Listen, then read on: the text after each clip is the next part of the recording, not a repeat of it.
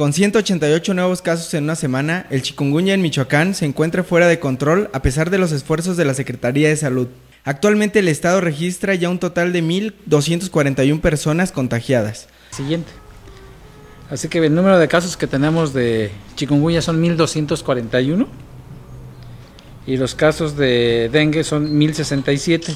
De estos, 12 son de fiebre hemorrágica por dengue. En rueda de prensa, Fabio Silagua, jefe del Departamento de Epidemiología de la Secretaría de Salud en el Estado, informó que la capital michoacana registra ya un aumento considerable de casos, por lo que consideró urgente que los morelianos abran las puertas de sus hogares a las brigadas de fumigación.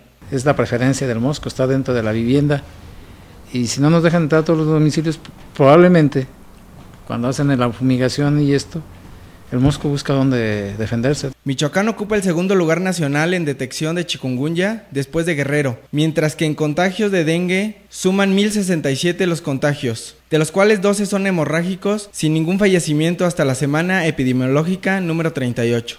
Para Cuasar TV, César Hernández.